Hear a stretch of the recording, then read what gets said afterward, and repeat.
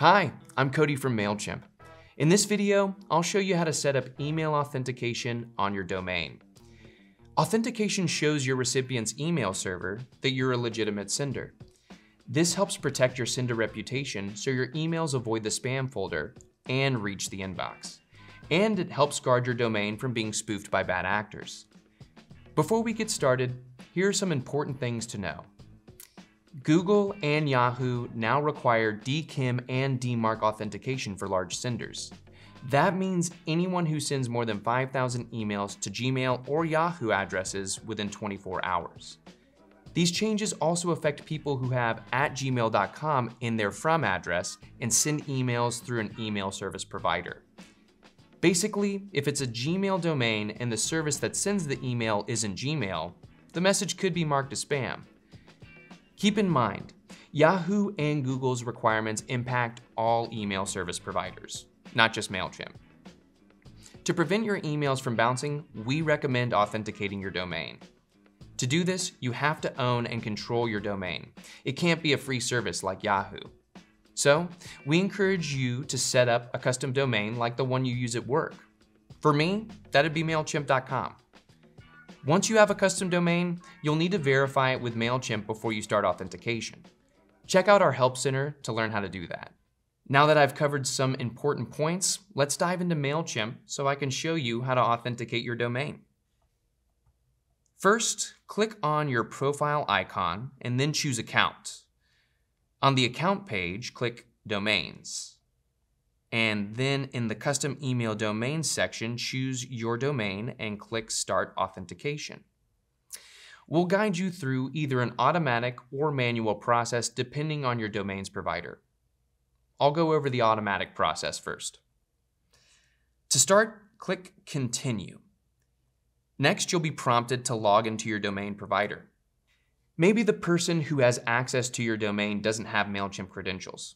If that's the case, you can forward this login to them and they can complete the process outside of MailChimp. If you do have the credentials, go ahead and enter your info and click Login. This is the only time we'll ask you to do this. We won't store your login information. Your domain provider might ask you to go through two-step authentication. For example, after you log in, you could receive a text with a verification code. But if your provider doesn't require this step, you're all set. We'll update your domain records, which could take up to 48 hours. And once the process is finished, we'll send you an email and you'll see your domain marked as authenticated on the domains page. And that's it for the automatic process. If you've completed this with no issues, you're ready to send to Gmail and Yahoo email addresses. Now I'll click Done to exit the pop-up. Next, we'll take a look at how to manually authenticate your domain. We're back on the domains page, and the first thing you'll do is click Start Authentication. Then, if you're not prompted to automatically authenticate, you'll see a checklist for the manual process like the one on my screen. For the next step, choose your domain provider from the dropdown. If your service isn't listed, choose Other, and when you're done making your selection, click Next. After that, you'll go to your domain provider's website. Depending on your service, MailChimp will offer guidance on where you can manage your DNS settings, so review our instructions. Then, in a separate browser window, log into your domain provider and locate your settings. And when you're done, return to MailChimp and click Next. Moving on, you'll create two CNAME records if they haven't been created already. Doing this will help you comply with Google and Yahoo's requirements for DKIM authentication. DKIM stands for Domain Keys Identified Mail, and it adds a digital signature to your emails. This helps the receiving server make sure that the emails are coming from you and not an imposter. To help you create CNAME records, we'll provide customized instructions based on the service you use. But to give you an idea of what to expect, you'll need to copy values from MailChimp and paste them into the fields on your domain provider's site. And once you've finished creating two CNAME records, head back to MailChimp and click Next. This step involves a DMARC record, which is another requirement to send to Gmail and Yahoo addresses. DMARC, or Domain-Based Message Authentication Reporting and Conformance, tells the receiving inbox what to do if an email isn't legitimate.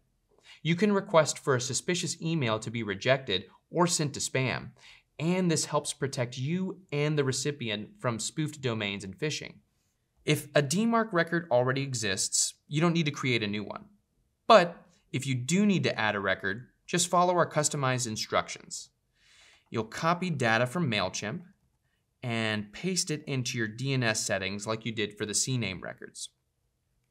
If you'd like to monitor your DMARC reports, include RUA equals mail to at the end of the TXT value you've copied and add your email address after the colon in mail to. Try to use an email address you can dedicate to reports. It'll help you stay organized. Or you could send your reports to a free third-party monitoring service like Valimail. Keep in mind that you can come back and edit the email address, so you can skip this step for now if you're short on time. Whatever you decide, just click Next when you're ready to move forward. Nice work. From here, you just have to wait for MailChimp to confirm that your records are updated and correct. Remember, this can take up to 48 hours. If you want to see how things are going, you can click Check Status, but we'll send you an email when the process is complete. When authentication is successful, you'll see Authenticated labeled next to your domain on the domains page. If there are any issues, you'll find guidance in the email domains section. And with that, we've covered how to set up email authentication. Thank you so much for following along. For more information, visit our Help Center for other great articles and videos.